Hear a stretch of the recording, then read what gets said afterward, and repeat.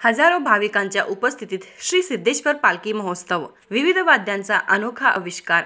पावसात यात्रेकरू भिजून चिंब. बेडके हाचे ग्रामदैवत श्री कल्याण सिद्धेश्वरांचा दसरा महोत्सवाचा पालखी महोत्सव हजारो भाविकांच्या उपस्थितीत व चांगबोलोच्या गजरात व हर हरच्या जयघोषात पार पडला. दोन प्रहरी तीनच्या दरम्यान श्रींच्या उत्सव मूर्तीची विधिवत पूजा करून पुजाऱ्यांनी उत्सव मूर्ती पालखीत विराजमान केली. नंतर चांगभलच्या गजरात पालखी मानकऱ्यांनी मंदिरातून पालखी बाहेर आली. यावर्षी पालखी महोत्सवासाठी विविध वाद्य मंडळाची अनोखी उपस्थिती होती. तर पालखी मार्गावर युवक मित्रप्रेमी ग्रुपच्या पाणी शिंपरणे व झेंडू फुलण्याच्या पाकळ्या टाकण्यात येत होते. अग्रभागी बेडक्याळेतील उशारानी हत्ती होता.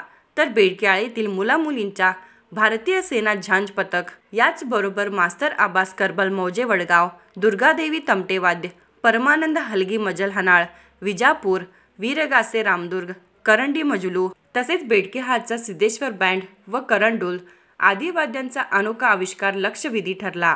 भाविकांच्या गर्दीत व विविध वाद्यांच्या गजरात पालखी गुजरी चौकात आल्यानंतर मोठ्या पावसाची हजेरी लागली. तरीही मानकरी व भाविक पावसात चिंब भिजत देवाचे दर्शन घेतले.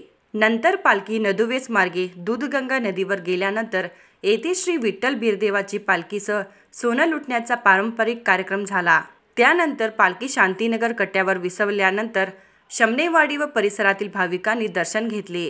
तेथून पालखी मार्गस्थ होऊन मैदान कट्टा डवरी कट्टा येथून इनामदारवाड्यात आल्यानंतर नामदार सरकार यांच्या वतीने विधिवतपणे पूजा आरती झाली.